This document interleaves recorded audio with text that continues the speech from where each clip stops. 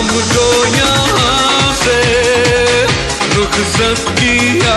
है खुशियों से